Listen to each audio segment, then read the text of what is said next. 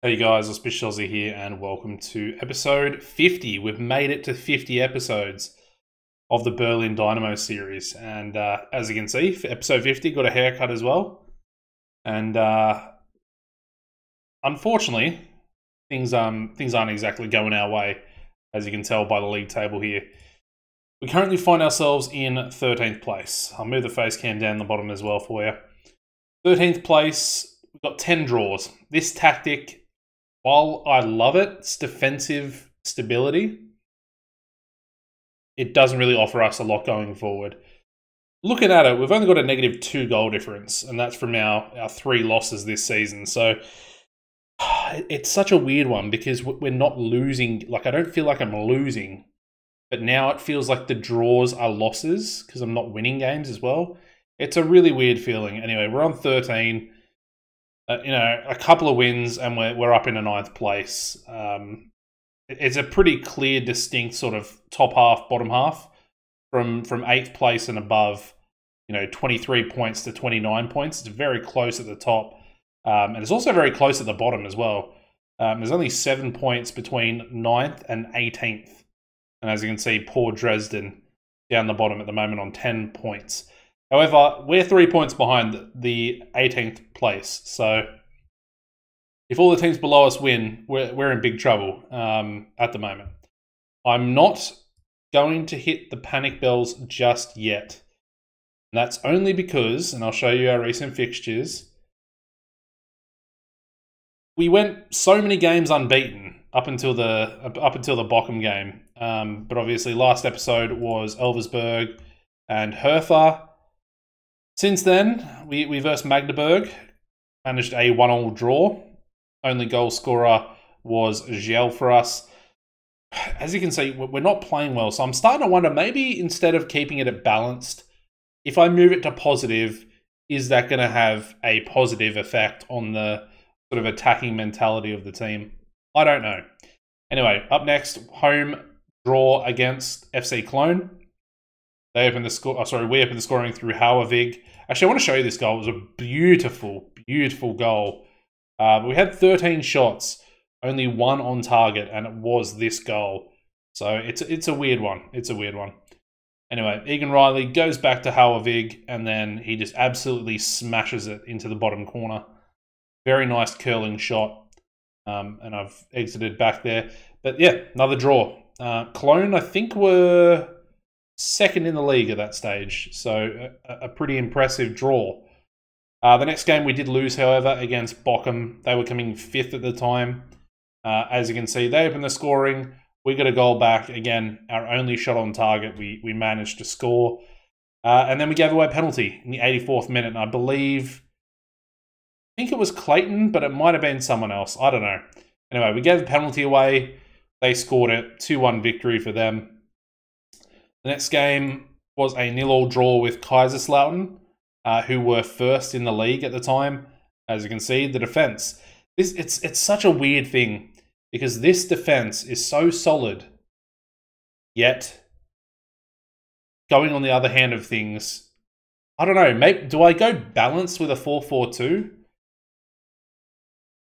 You know the, the my previous tactic that we were using that we we finished fourth with um, and just go balanced and hope that the the attacking prowess of the players and the strikers will be good enough. I don't know.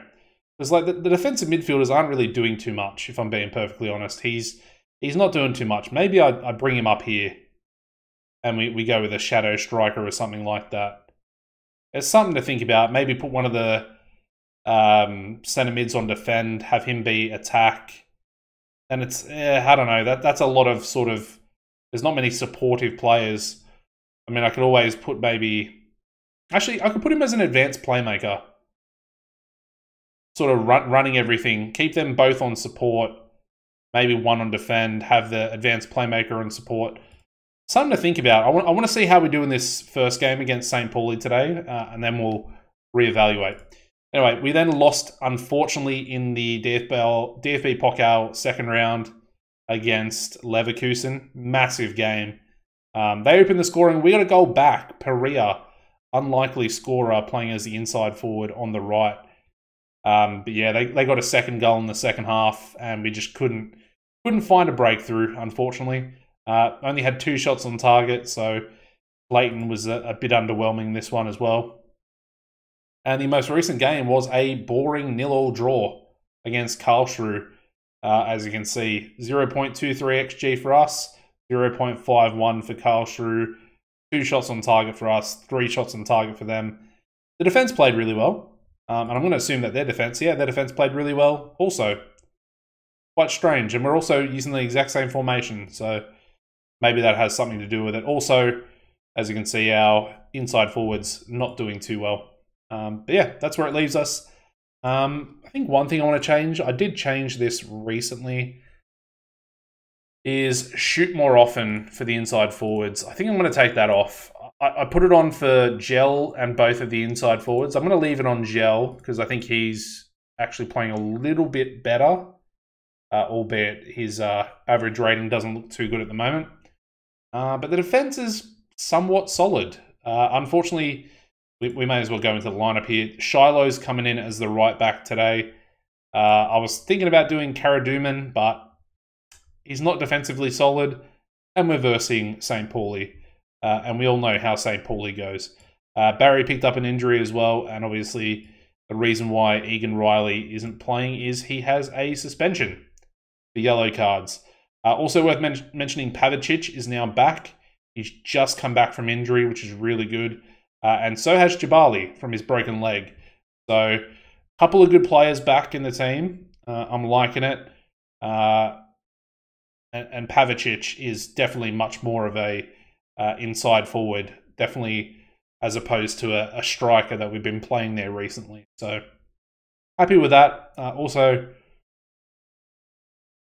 ended up giving him his new contract, which is unfortunate, but 11k per week, it is what it is. Uh, everyone else, uh, only other change actually is Veloso dos Santos. He's come in for Cruz, who's been playing pretty badly as well.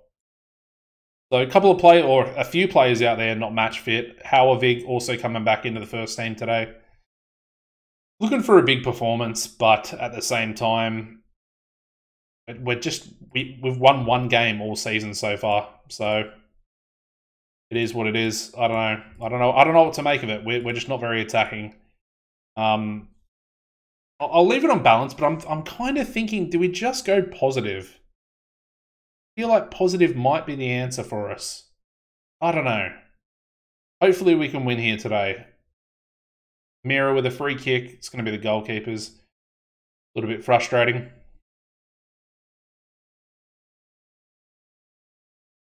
He pumps it long. And now St. Pauli have possession of the ball. They do go backwards though. Although they're, they're cutting in, and that is a goal. First goal of the season. Yeah, I mean, I was talking about defensive stability, and we concede our first shot on target, so there we go. Anyway.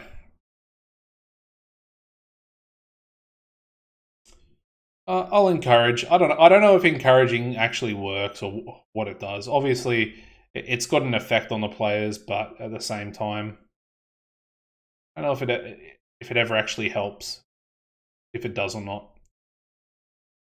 Anyway, that's half time. We're one 0 down. Um, not a great start. So I am going to make that change. We're going positive. I just want to see what happens. I'm curious. I mean, their defense is playing really well. It's almost unfair when their defense plays well, mine doesn't, and I can't score. It's just frustrating. I mean, Anning, the, the player that scored is a, a left wing back, so that's just really frustrating. And uh, time is ticking away. So I'm going to go attacking now as well. I want to see what that does. 6.1 for Pavicic. 6.1. Um,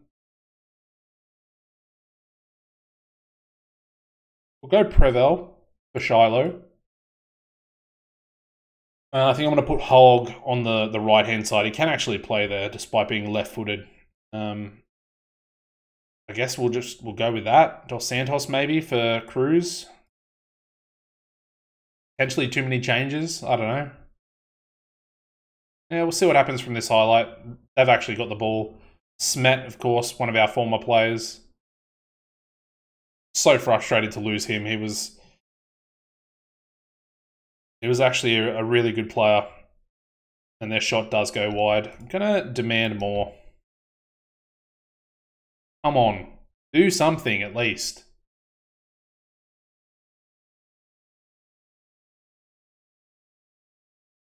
All right, Hogg. It's a cross in. Perea. We get a goal. We get a goal. Another draw, potentially. We're on. We're on for another draw. We scored, though. No one attacking.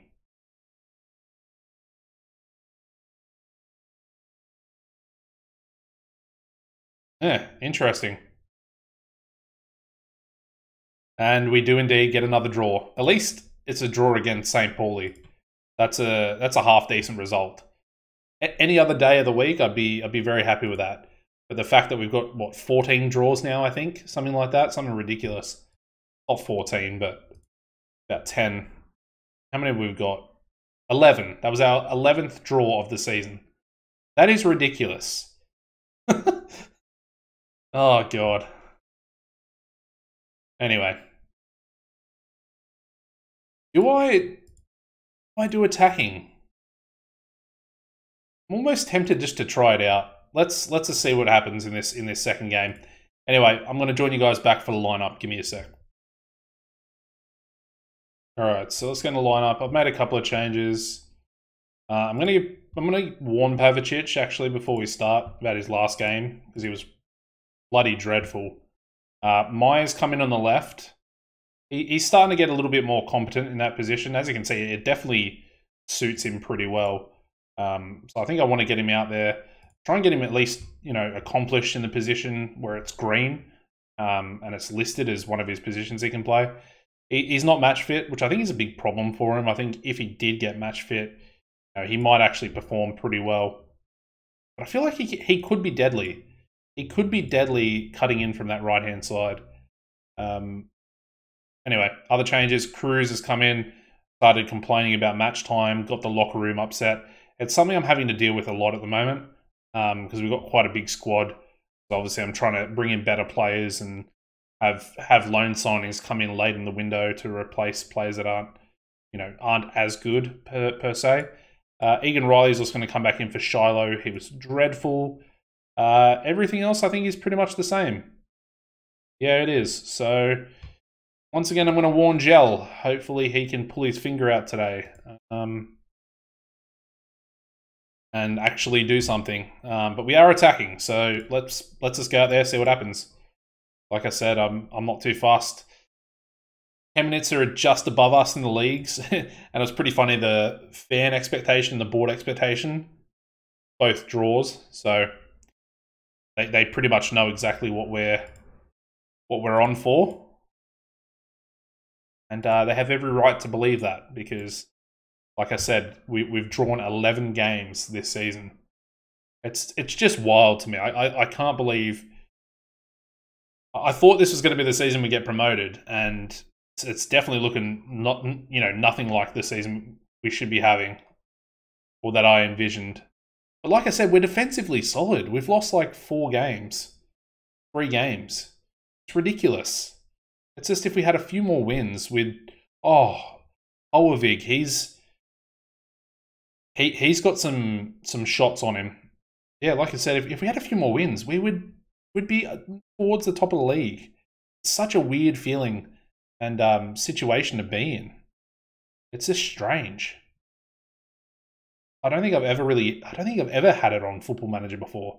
You, know, you, you get your teams where you where your tactics and teams where you're definitely not good enough and you um you lose a lot. But to draw this many games in such a short amount, and not only that, but not be able to win games, that's the the big problem. Anyway, we're coming forward here. I got to got to try and remember not to complain too much and, and just take it for what it is. Pavicic into the box. Gel puts it in. I think he's on side, and we're in the lead. How dare we? We're actually in the lead of a game. We might be onto something with the attacking. We might be onto something. I don't, I don't want. Um, it's early days. I don't want to. I want to jinx this. I'm just going to pause it here real quick, and we'll just ease people off tackles as well.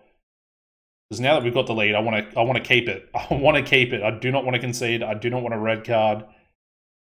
Um, I want to win the ball back, and we do indeed do that. It's up to Gel again. Into Maya. Can he shoot? He can, but it's wide. Oh, he, he used his left foot. I need him to use his cut in and use his right foot. He might actually score then. Good first half though. Yeah, very, very good first half. Delighted with the performance. Let's go back out there, do the same thing. Go and get get three points for us.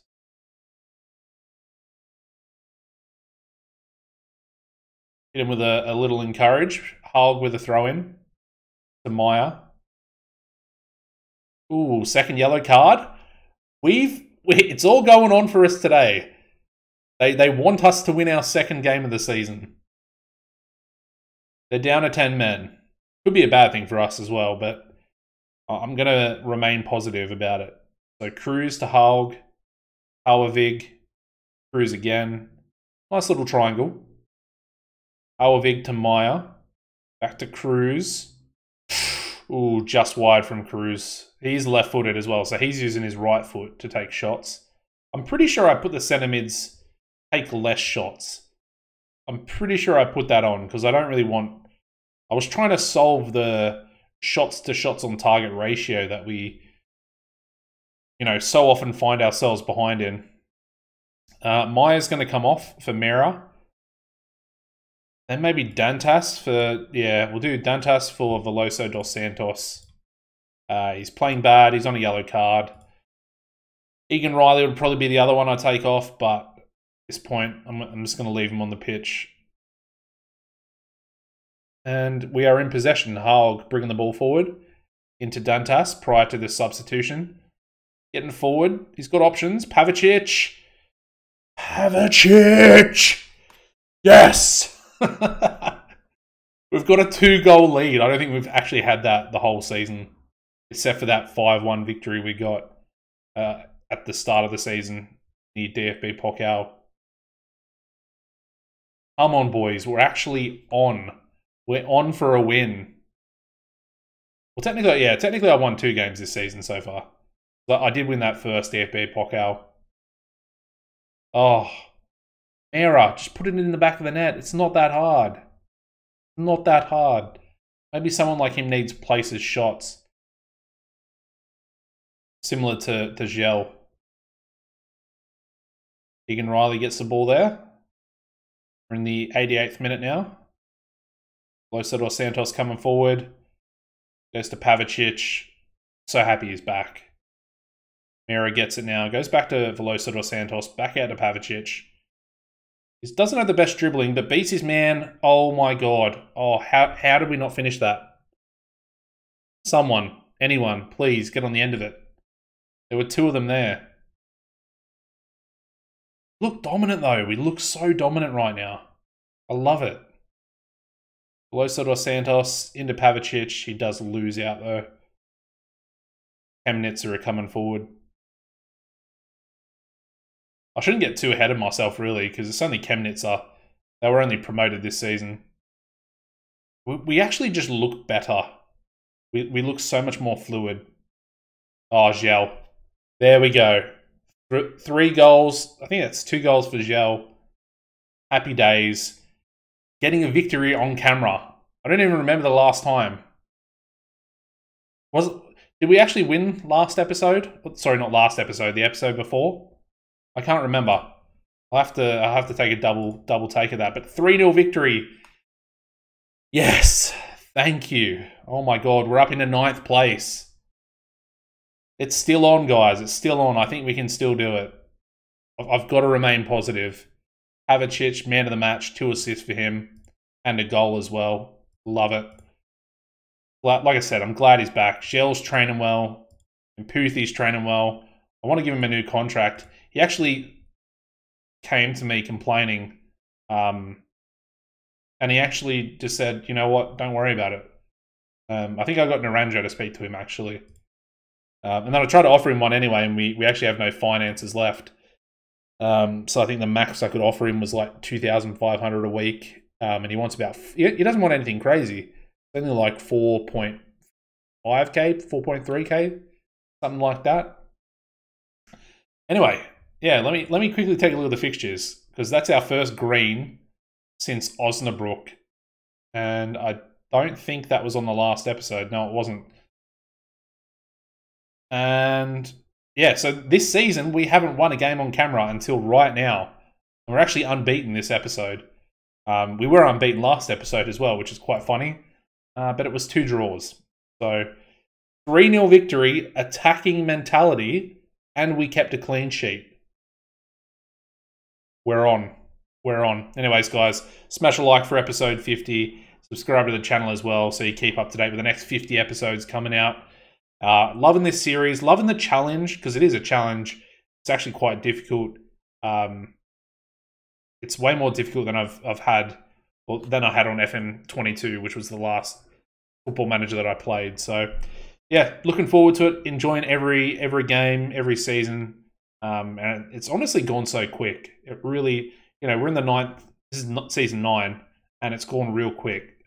So yeah, make sure you hang around, subscribe there's only like 75% of you subscribed. 20 uh sorry, 25% of you subscribed, 75% not subscribed. So hit that sub button and hit the bell to be notified when the episodes come out. as always, take it easy and goodbye.